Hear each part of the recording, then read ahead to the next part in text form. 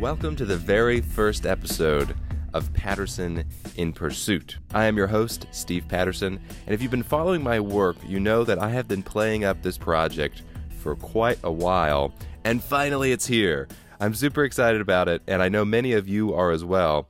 And so I want to briefly tell you what you are about to listen to. So let's start with the two big questions Who am I? And what is this podcast about? Well, I am an independent philosopher working outside of academia. I write books, articles, I produce videos that all cover big ideas. But before you stick your fingers in your ears, most people, for really good reason, when they hear the term philosophy, they immediately their eyes glaze over and they stop listening to whoever said the, the word philosophy. And I am very sympathetic to this because modern philosophy is a bunch of pretentious nonsense that makes virtually no difference in the world. However, not all philosophy needs to be like that. This is why I'm working outside of academia. I try to focus on ideas that I find genuinely important, like is there such a thing as objective truth? Can we know about it? Can we have certainty? What is the nature of consciousness? Is there a God? What are numbers? Does quantum physics show that our minds fundamentally cannot grasp the nature of reality? I'm also really interested in political questions. So, how should we organize our societies?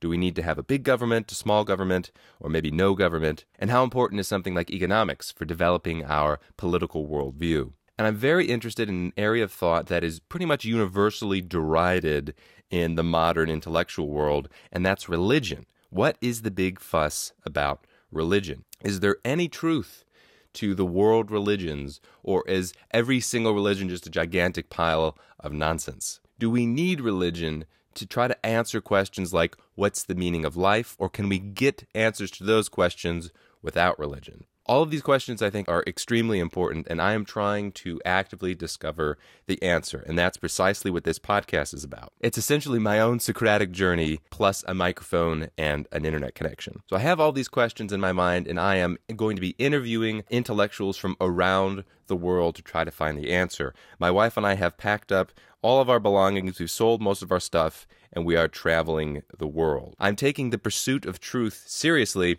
and I'm not ashamed at all to say it. I'll be talking to professors, mathematicians, theologians, philosophers, scientists, anybody that I think I can actually learn something from. Hence the title of the podcast, Patterson in Pursuit. I am in the pursuit of truth.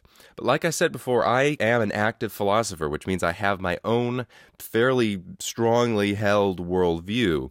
I don't have all the answers to all these questions, but I have some answers. I'm pretty convinced, and I'm willing to put these ideas to the test. So if it turns out I'm wrong about these ideas, I have nothing to hide. That's great. I'll get one step closer to truth if I discover that my own worldview is wrong. And I'm sure it will be valuable to everybody listening as well. My wife and I are going to be traveling for up to a couple of years, and I'm hoping that in that time we can build a little community, a little philosophic community around this project where you guys can ask me questions to ask other people or ask me questions directly. I really want to try to take advantage of this short window of time before my wife and I settle down and have kids, where I can try to maximize the intellectual value creation possible. So that's enough introduction about me. You'll learn more about my own background, my own philosophy as we get into the series. The journey officially begins episode two, which is when I get to talk to a philosopher from my alma mater. I figure it would be most appropriate if I began this journey